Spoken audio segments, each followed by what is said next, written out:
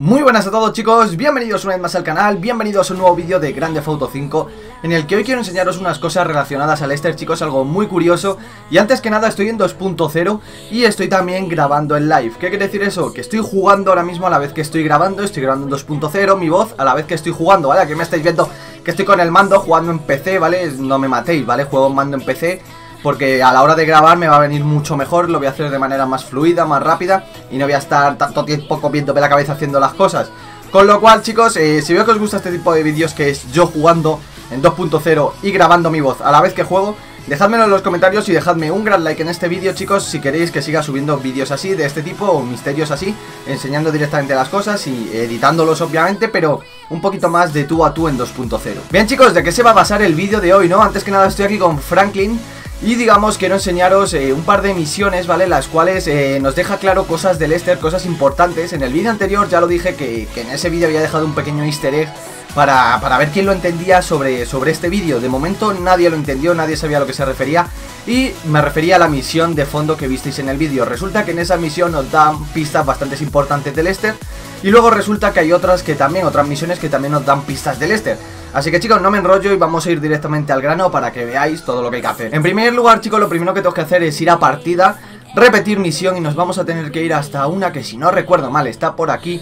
Eh, vale chicos, la misión que tendríamos que ir se llamaría de libro En la cual lo vamos a ver ahora mismo de fondo lo que habría que hacer Para que digamos entender las cosas de lo del Esther, ¿vale? Para que me entendáis muy bien y todo. Eh, Hay misiones chicos que cuando vuelves a jugar el juego te pasan la historia pues digamos puedes llegar a volver a, al hacer esas misiones, vas a entender cosas que antes no entendía. Y eso me pasó a mí jugando esta misión, ya que digamos a la persona que secuestramos, a la persona que torturamos y que tortura a Trevor en ese vídeo, en esta misión que diga, resulta que da pistas muy importantes acerca de Lester. No dice, digamos así claramente que es Lester, pero lo podemos deducir tranquilamente y muy rápido chicos. Me voy a callar un segundo para que veamos un poco el gameplay de fondo pero digamos aquí estamos con Steve Haynes, Dave Norton y si no recuerdo mal el otro era Devin Weston. Y digamos estamos con Trevor, con Michael a la hora de, hacer una misión en la cual tenemos que matar a un azerbaiyano, ¿vale? ¿Veis? Aquí como veis chicos, estamos con, con el hombre al que hay que torturar y es el que nos va a dar, digamos, cierta información la cual relacioné inmediatamente con Lester. ¿Ves? Aquí dice, monto sistemas audiovisuales en alta definición de un tipo importante, un VIP por un buen precio. Aquí es donde quiero que lleguemos a esta primera conclusión, chicos, a esta primera relación. En esa parte que dice que monta supuestamente monitores de alta, de alta calidad en HD a una persona VIP importante, lo relacioné inmediatamente con Lester, chicos. En esta misión básicamente lo relacioné al momento porque dije, eh, wow, ¿vale? O sea, digamos, aunque vosotros no, no, lo queráis ver y digáis, va, este tío está un poco loco, este tío ya relaciona todo con Lester.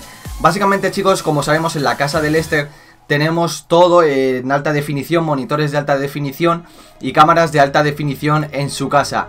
Y es más, nos vamos a ir directamente hacia, la, hacia otra misión para que lo veáis por vosotros mismos. Vale chicos, la siguiente misión que tenemos que hacer para comprobar que todo esto ha sido verdad es repetir otra misión la cual se llama solicitud de amistad en la que vamos a la casa de Trevor y podemos estar allí, eh, digamos, vigilar un poco todo, más que vigilar, eh, investigar esa zona. Y aquí tenemos esta misión chicos, se llama solicitud de amistad y vamos a estar en la casa de Lester directamente, ¿vale? Yo creo que es de la única manera en nueva generación la cual se nos permite estar aquí. Voy a pasarme los diálogos, ¿vale? Voy a saltármelos para ir directamente y enseñaros lo que os quería enseñar.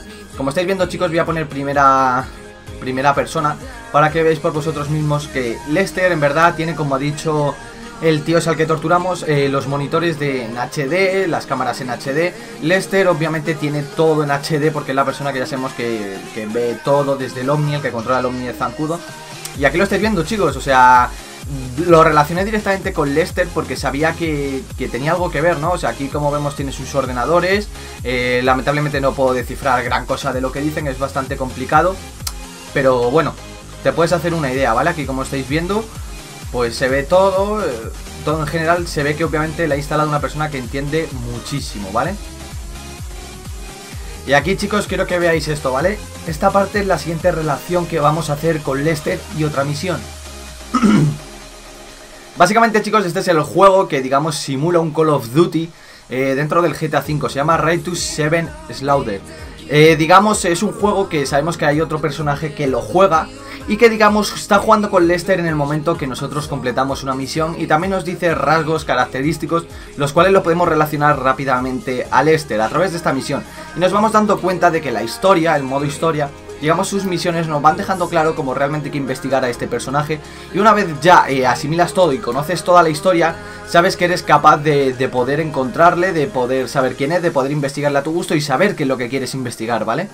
Bien chicos, ahora que estamos aquí otra vez os pongo en situación Hay un personaje dentro de, del juego, ¿vale? En la cual en una de las misiones está jugando a ese juego, al que sería el Call of Duty del GTA con Lester. Y diréis, ¿quién es? Bueno, chicos, es Jimmy, ¿vale? Jimmy en una de las misiones está jugando con, Lester a, eso del Call of Duty. Es la misión más exactamente en la que Michael rompe, digamos, la televisión de Jimmy con, con la silla.